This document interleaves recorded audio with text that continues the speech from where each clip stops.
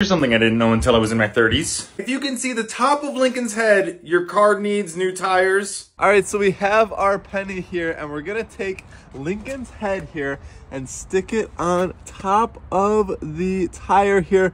And uh-oh, you can fully see his head here. Uh-oh, looks like we're gonna need some new tires here. There is not much tread at all. And now I know I need some new tires.